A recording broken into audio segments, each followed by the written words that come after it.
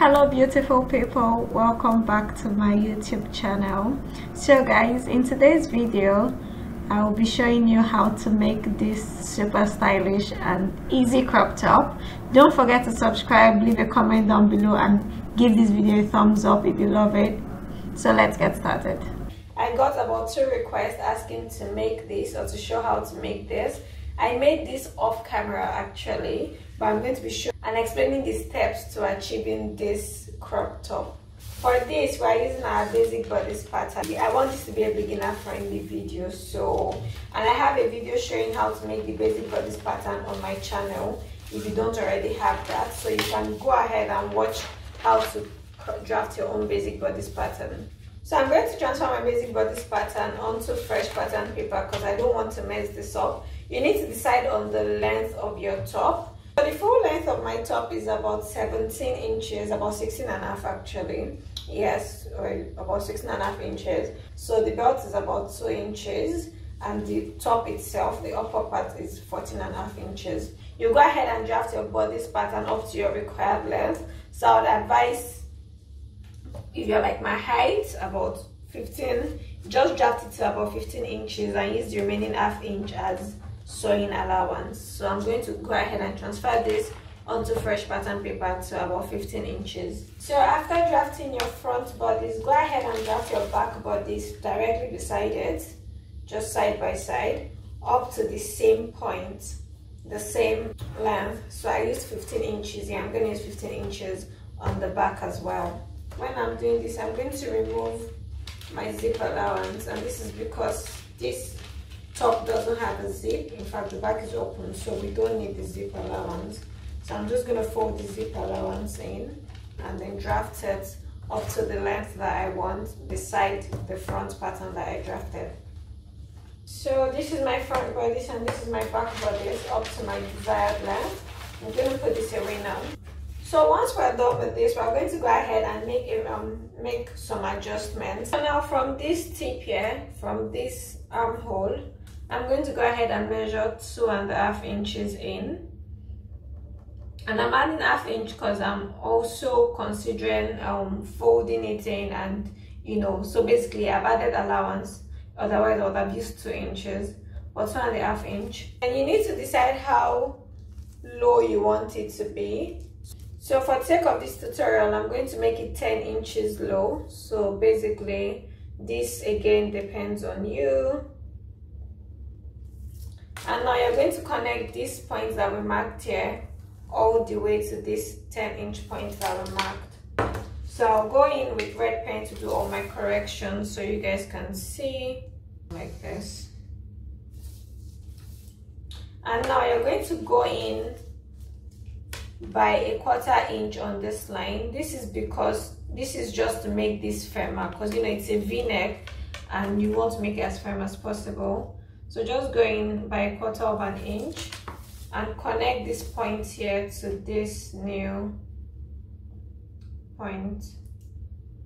So it's almost like taking a dart over here yes. So don't forget that in the pattern piece that we used we already had um allowance. So there's already allowance for sewing so you don't need to worry about that and there's allowance for sewing in the sides as well so you don't need to worry about that. So i'll just go in here with your red pen so you guys can see. So here is our new line. So yes this is it. So basically you can make this as deep as you want. If you want it to be even deeper let me say 12 and a half inches for instance. I'm just gonna mark and just go ahead and extend this new point here down to your 12 and a half inches. The yeah. So basically this is very much dependent on you. You can make it this deep. You can basically just explore your wings. I don't want i don't like to say oh do this this particular way but especially when it comes to style lines because i just want people to be able to express their you know inner fashion rebel whatever. So yes just do whatever you want. So if you want it deeper if you want it even short. So basically i'm just teaching people the principle. You need to reduce this place because you need this to be firmer. So by a quarter of an inch should be fine. And you just make it as deep as you want it to be. So now we're going to do exactly the same thing we did for the front at the back. So you know we extended this by two and a half inches from this place. You will extend it as well because the front and the back shoulder should be the same. And you're going to in, you're going to go one inch above at this point. I noticed when i made that when, when i made mine that this was really really helpful. I had to go back to do it because the back just didn't sit well when i used the same. I guess because it doesn't have a zip or because you're supposed to tie it at the back. So it's tied at the back but when it was the same length with the front it didn't look good. But i think i can also understand because with pattern drafting in um, using the natalie bray method they always tell you to extend your center front by about one centimeter while you leave your back the same. So i guess the back always needs to be shorter than the front but yes for this i needed to extend my back. Reduce my back by about one inch. So just go ahead do this and connect connect it to your center to your side seam because the side seams need to be the same. So once you do this you might you need to make some correction because when you fold it it won't be the same again. So just fold it like this and go in to get the correct line I hope you guys understand. So now this is the new dot line. So I'm just gonna connect this here. This is basically just to make sure you get the correct line when you actually sew your dart. So next you're going to connect this mark here, this a half inch mark, down to this line that we have here. So I'm just gonna go in with broken lines to make sure I get the right line.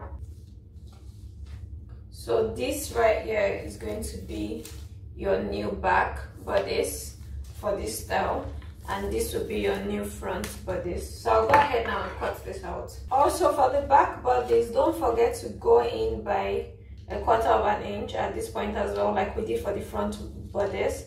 This is actually very important guys. Speaking from experience, I don't want you guys to make the same mistakes that I made. I'm going to cut one of this, not two. You're going to cut this on a fold. You're going to cut this on a fold. You're going to cut one of this. And you're going to cut two of this. So you can decide to cut two of these and have a center line seam, center front seam if you want. But I cut mine on a fold so I didn't have a center front seam. So this is it here. I cut two of, I cut this on a fold. I sewed my darts. I also cut a lining. I also cut the lining piece, the same thing. You can choose to line yours or not. If you are not lining yours, you will need to go in with um, maybe like a bias tape to finish up the edge, to finish up the edges nicely. But if you're lining yours, you just cut the same thing on your lining and on your main garment. So you cut this on the fold and then you cut two of the back. So one for each side. One for each side. So after cutting sew your dart sew your dart on all your pieces. And you're going to sew the front and the back together using the shoulder tip over here and also using the side seam. So once you join the sides and the shoulder seams together your dress is pretty much your top is pretty much ready. This this is a very easy and quick top to make. Once you're done with this you would also be needing a belt. So just cut a long belt. Mine is about 70 inches. You can even make yours longer. And the width of my belt that's the size from here to here so the width is 70 inches and the length was about 5 inches but that's because it's um, I'm going to fold it. So if you're cutting on fold you only need about two and a half inches. If you're cutting straight then you need five inches. So when you fold it it's going to be about two and a half inches. So I cut my belt then I attach my belt to my main bodice basically the same way you attach your waistband. That's the same way you're going to attach this and you're done. So it's very easy very straightforward. I hope you guys understand. Please feel free to ask questions down below if you need any more clarification but yes that is how i made this top